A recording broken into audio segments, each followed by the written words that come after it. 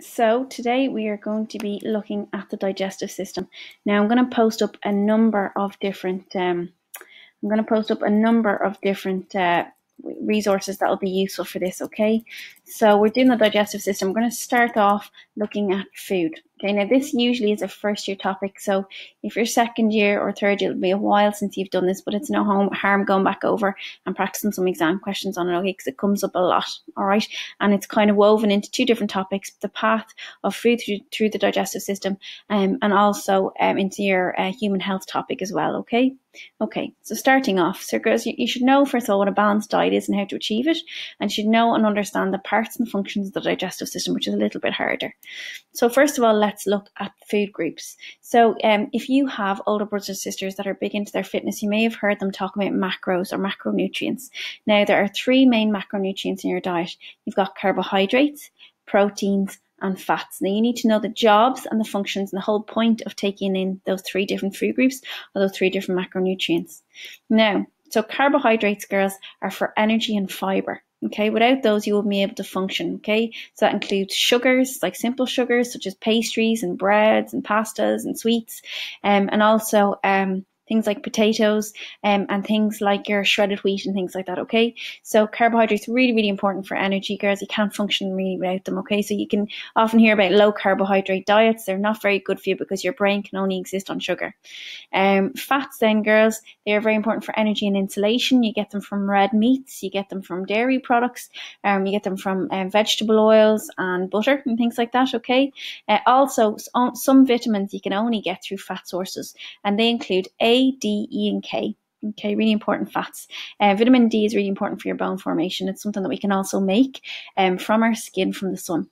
Proteins then, girls, are for um, muscle and tissue growth and repair. Really, really important. You get enough protein. If you if you have any older brothers and sisters that are into their weights, they probably eh, have uh, taken a large amount of protein to ensure that they have adequate muscle growth. Okay, and also water hydrate is really important for hydration too. And it is, and um, we're you know we're mostly made of water, and our whole transport system is based on it. So we have to make sure we get enough water into our diet too. And then vitamins and minerals, girls. We get our vitamins and minerals mostly from coloured vegetables and fruits, and um, also from other sources such as, such as dairy products and fat sources too. Um, and they're really, really important for our general health and um, and you know just staying healthy and overall. Okay, and an example of a mineral will be iron. You may have, you may take tablets for that. So iron is really important to prevent anemia. It's really important for your energy levels um, and for your red blood cells. Whereas vitamins, an example of a water soluble vitamin, because you've done fat soluble already, would be vitamin C, which you get from um, your uh, your fruits such as uh, citrus fruits and oranges and lemons and things like that. Okay. Now, a balanced diet too. So to ensure that you get all of your macronutrients or all of your food groups in the correct proportions, we look at what's called the food pyramid. And the food pyramid gives us an indication of how many servings of each type of food group we should get a day. Now, this has recently changed so that the bottom um, base of the pyramid, girls, used to be carbohydrates. Now they're saying it's fruit and vegetables. So if you look at your plate at every meal, the greatest proportion of it should be fruit and vegetables. Um, so they're saying you should get five to seven portions of fruit and vegetables a day.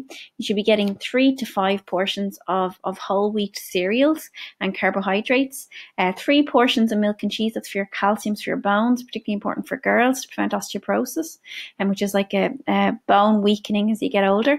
And um, then you should you should be getting meat, poultry, eggs, beans or nuts if you're vegetarian as well. So you should get two portions that every day.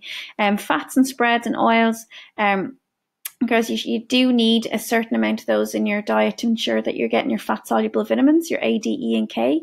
And then finally, um, girls, you know your um your treats and your sweets you should really only be getting that um once or twice a week. They shouldn't be really daily. Okay, which I know is easier said than done.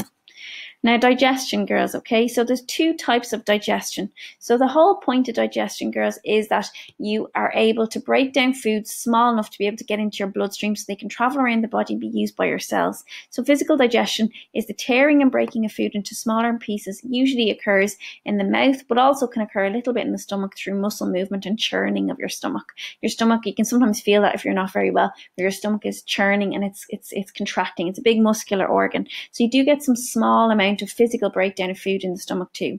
Chemical digestion is the breakdown of food by chemical means. So that means either by acid or a or special chemicals called enzymes, which we'll talk about at the end of this. Now, this is your digestive system here. It looks really scary, but essentially what it is, girls, is a big long pipe that goes from your mouth to your anus, okay? And it's kind of all coiled up together so it fits in our body, all right?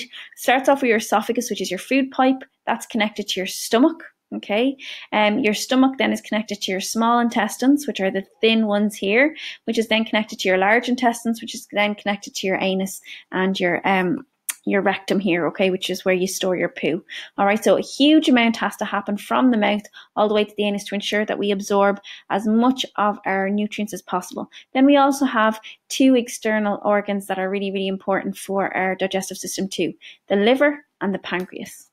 Now, what they do here, girls. So, if I were you, I'd pause the video here and write down the job of each of the main parts. So, your mouth is physical and chemical digestion. Esophagus is just really a transport um, pipe that takes food from the um, to the stomach from the mouth. Uh, your stomach does chemical digestion by acid and enzymes. Small intestine is absorption of nutrients, your vitamins, your minerals, your fats, your carbohydrates, large intestinal absorption of water. Your liver breaks down any chemicals that you take in in your food, such as um, paracetamol, Nurofen, perhaps alcohol, um, and other t- other drugs that you might take. And uh, your liver is responsible for breaking that down to make sure that it's that you're um, that's safe for your blood and safe for your cells. Also produces bile, which is a brown sticky substance that helps to break down fats in your digestive system. And then your pancreas. Sorry, I've spelled that wrong. So then your pancreas, girls, um, makes insulin, which is really important if you're diabetic. You know all about insulin. Really important for the absorption of sugar in your body, um, and also makes digestive enzymes too. Okay. Now the way in which your food moves from their mouth to your anus, girls, it's what's called um, um, oh, just left my head now for a second. Sorry, girls. Um, it's a muscular contraction called peristalsis. It's a big word, but essentially what it is is your it's just a squeezing action that passes food from one part of the digestive system to the other. Now, moving on. So enzymes, girls. Now, okay, so you should know what an enzyme is and how it works, and know some examples of enzymes. So your stomach, girls, the main role of your stomach is to chemically and physically digest food. The way it does that, girls, is it produces acid and it also produces the enzyme protease. Protease, girls, breaks down proteins. So if you have a big lump of steak for dinner, it's your stomach that mostly breaks that down by producing that enzyme protease. Now, girls, this is your definition for an enzyme that you have to know. An enzyme is a biological catalyst. It speeds up a chemical reaction without getting used up. Okay? The materials an enzyme binds to are called its substrate. So if we've got the enzyme protease in the stomach, the thing that it, it, it attacks or the thing that it breaks down, girls, is called its substrate. That's protein. Okay. So every enzyme has a specific substrate. Think of it like in soulmates terms. Okay. So every enzyme has its specific soulmate. It has one thing that it binds to. Um, and they the reason it has one thing that it binds to is that they fit perfectly together like jigsaw pieces just like this, okay? So protease won't work on carbohydrate, it won't work on fat, it will only work for proteins, okay? Now the two examples I would learn off, girls, are amylase in the mouth. That's um, its substrate is starch. That's you know the stuff that that's in your bread that gives you energy, okay? And protease in the stomach, which breaks down protein. Now, the way amylase works, girls, it comes along in your mouth. It's produced by your glands with your saliva, and it breaks down the starch into what's called maltose molecules. Okay, so starch, uh, amylase is, uh, breaks down starch into maltose. Then protease, girls, breaks down protein into the amino acids that make it up. So the whole point of enzymes, girls, is that they're breaking your food into smaller parts that can then be absorbed. Um, how can we prove that amylase is working in your mouth? Now, this is a bit of a gross experiment we like to do in school. So what I do is I take a sample of starch. So it's just a, a, a solution of starch, okay? Stuff that's in your pasta, stuff that's in your bread. And I get the whole class to spit in the cup, which is kind of disgusting. Then we leave it half an hour. And what we do then, we test to see if there's any starch left at the end of the, at the end of the lesson. There is no starch left at the end of the lesson, girls. We test it with iodine. And what happens is it shows that all of the starch has been broken down by everybody's enzymes in the class. And the special thing about enzymes is they don't get used up. They break down their substrate and then they um and then and then they can break more to break down more substrate again and again and again. They never get used up, which is amazing. Um, so, girls, that is your food, your digestive system, and your enzymes. Now, I know that's a lot in a short space of time, so I will post up some supporting uh, videos and some supporting websites for um, that you can uh, use to uh, to go through this again. Okay, and I'm going to put up a little worksheet that you can try. Thanks, ladies.